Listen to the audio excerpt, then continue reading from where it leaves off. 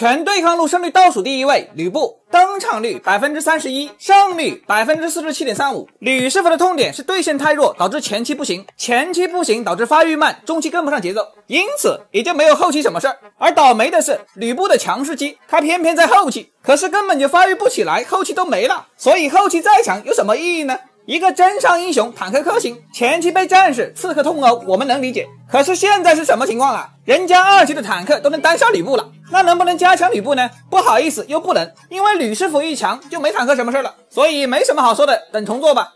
全对抗路胜率倒数第二位，夏侯惇登场率百分之一十五点二，胜率百分之四十七点四。在三十一赛季里，打野夏侯算是异军突起了，但是由于胜率和强度过高，并且在职业比赛的表现过于离谱，所以很快啊他就被削了。本来夏侯就是对抗路不行，所以被逼无奈去打野的，而这一下因为打野太强被削了，这让对抗路夏侯的处境雪上加霜，要坦度没坦度，要伤害没伤害，唯一的战路回血优势，人家还不跟你打。这英雄现在玩起来就一个字无力，算是狂铁的下位替代。全对抗路胜率倒数第三位，暗信登场率百分之九点五，胜率百分之四十八点三一。我发现李信这英雄真极端，以前暗信强的时候，光信就很弱，现在光信好不容易熬出头了，结果暗信又不能看了。暗信的弱势两个方面，在带线这一块，由于一技能被砍，被动被削，这使得暗信带线时更容易被抓，推进时又不能击杀对手，对面往塔下一缩，你暗信就废了。第二个方面是反野，现在野区保护机制更强，同时野怪更难打，因此暗信的主流玩法里已经是不带惩戒了。那线带不了，塔推不了，野区还反不了，那暗信能干嘛？能打团吗？哈哈，打个鬼！暗信是团战最弱英雄啊，所以彦祖你说啥都干不了，暗信的胜率他能高吗？全对抗路胜率倒数第四位，专精项羽登场率百分之一十一，胜率百分之四十八点六七。成也专精，败也专精，这句话送给项师傅很合适。专精项羽曾经抵达过王者英雄的强度巅峰，那么太极 RP 现在专精项羽成了版本陷阱，其实也没什么好埋怨的。专精项羽的问题是太脆，并且不到丝血没有伤害，无论是进攻还是反打，基本全都依靠丝血以后的大招不死斩。打伤害的形式过于单一，对面一看你撕血项羽，他用脚趾头想都能想到你要撕血开大，那人家一旦有准备了，项羽大招还能劈到人吗？劈不到了。而项羽不开大又没伤害，同时还脆，回血还回不上来，胜率不可能高的。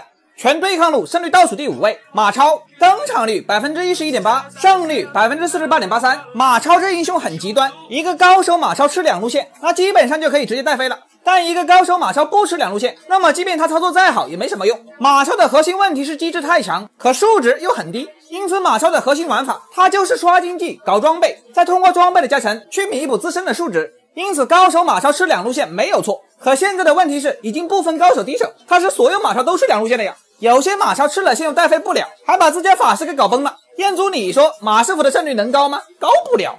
全对抗路胜率倒数第六位，廉颇。登场率百分之八点七，胜率百分之四十九。廉颇，大好注意了啊！他现在就是辅助，你玩辅助胜率高的亚匹，你走对抗路胜率低的不行。为什么呢？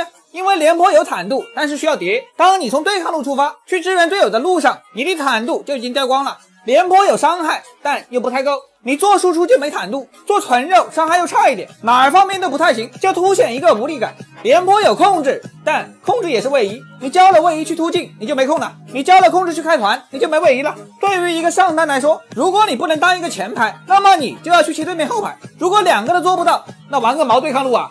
全对抗路胜率倒数第七位，程咬金登场率百分之五点七，胜率百分之四十九点三二。这英雄是被终结给逼死的。程咬金的本质就是卡血量打伤害，血量越少，伤害越高，回复越高。而终结的本质正好跟他相反，是对手血量越少，终结的真伤也就越高。最离谱的是，程咬金的最佳卡血血线刚好就是终结的斩杀线。所以在终结面前，程咬金卡血线就是送，那你不卡又没坦度又没伤害，一个召唤师技能废掉一个英雄。而且以前即使打不过程咬金，也能带惩击去反野，但是现在嘛，哈哈，反野死路一条，不反野在线坐牢。本期视频最后一位对抗路全体冷门英雄，登场率加起来不到百分之二，像曹老板、八戒以及哪吒、达摩这类英雄啊，他们是低登场低胜率，而且热度也低，基本没人玩，没人说，因此很难有热度和关注。想等加强都是一种奢望，还得等重做。所以这些英雄上分的话，不建议玩，除了真爱粉，分奴是真别碰。